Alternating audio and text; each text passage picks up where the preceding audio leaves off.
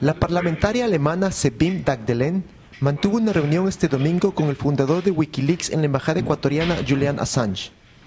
En esta intercambiaron opiniones y la parlamentaria mostró su solidaridad con Assange por parte del partido de izquierda alemán y de la comunidad online de ese país.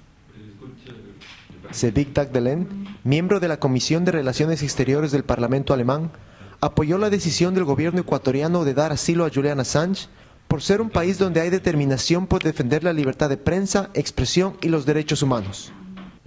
And as far as I know that the democratic process in Ecuador is very good and very serious taken and uh, the respect of huma, uh, humanitarian rights is very big in Ecuador so I guess uh, Assange um, assumed that he would get some help from Ecuador.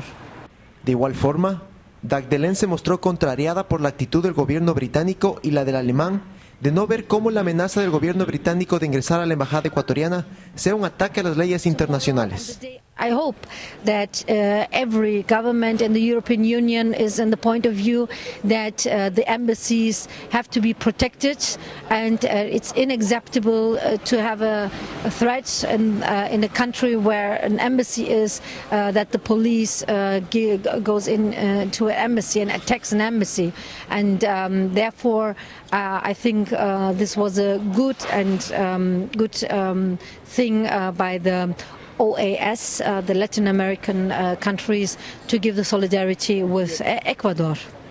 Dagdelen es la primera miembro parlamentario que visita a Assange en Londres y urgió a sus colegas de otros países a visitar la Embajada de Ecuador y buscar una solución humanitaria a la situación actual. En los próximos días, la parlamentaria espera reunirse en Berlín con diplomáticos suecos e ingleses para buscar una solución inmediata a esta crisis. Desde Londres, Marcelo Espinosa.